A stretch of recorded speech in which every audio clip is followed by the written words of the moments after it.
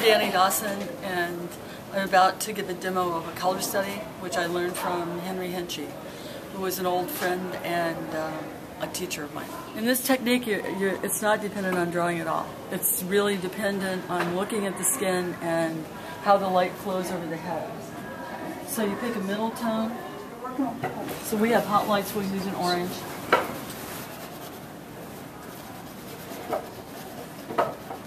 Forehead, nose.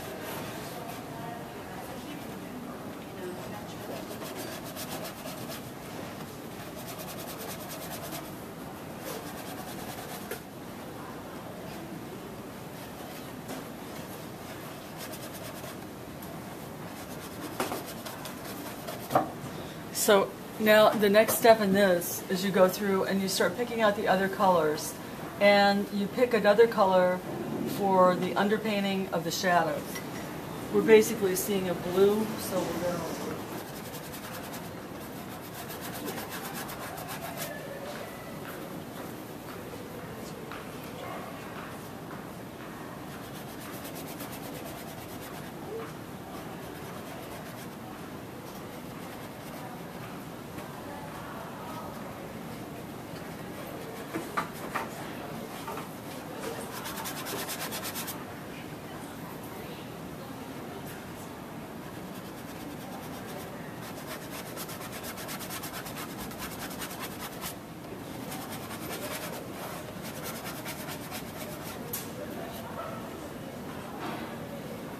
So now our problem is we have to go from here, add more colors into these colors until we come out with skin that looks somewhat like him.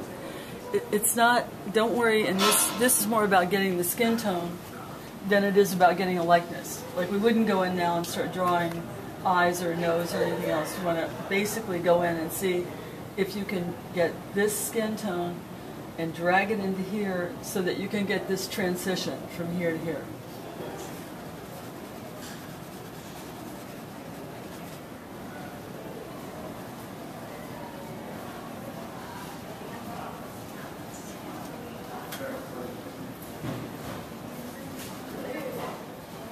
Now I'm putting a cool red as a transition color, and then I'll go back over it with a hotter red.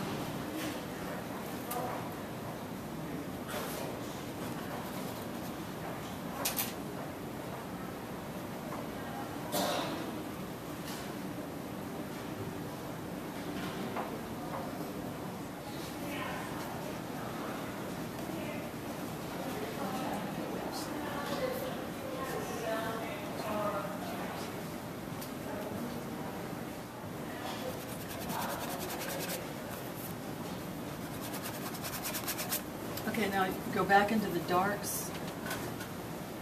Now I have some blue, so I'll pick up some of the blue here. Move it back into here like this. Then you can see that this is warmer up in here.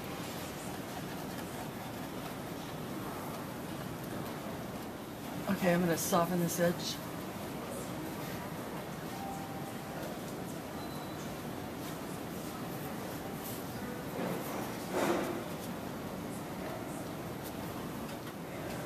down here, say, okay, this is in here like this, nostril in here. But notice I'm not trying to draw the eye or anything, I'm just going for, from one plane to the next plane.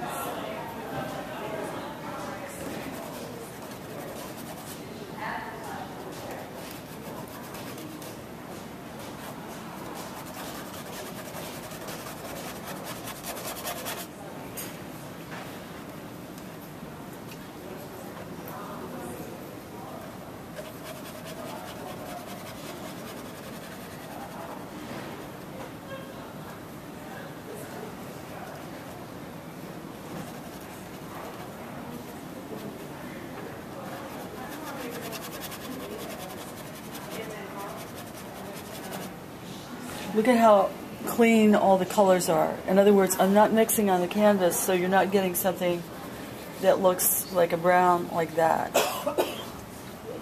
So what, what you're doing is you're keeping the colors very clean and you try to use every color on your palette as you go. Now, this is frontal plane. here, frontal pointed head, so we want to turn it like this into here. It's like Matic bone. Okay, then we go around to the mouth muscle in here, and it's turning around here like this to there. Then we have this coming around like that. Now, the next thing we have to do is to get from here to here. So we want to use a cold red again, which is permanent rose. And go back into here like this, pull this down into here. You overstate all the colors as you go. We have a cool red and we have a cold underneath it. So we're going to try to pull these two together like this, just using a, um, a brush with no paint in it. Come back into here like this.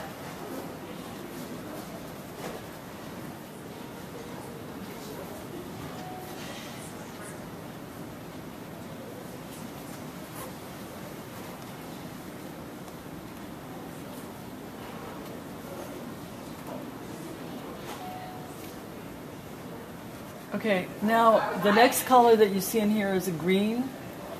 So we'll go in with a little a bit of cadmium green pale. So here we go. We just take this, come down this green like this.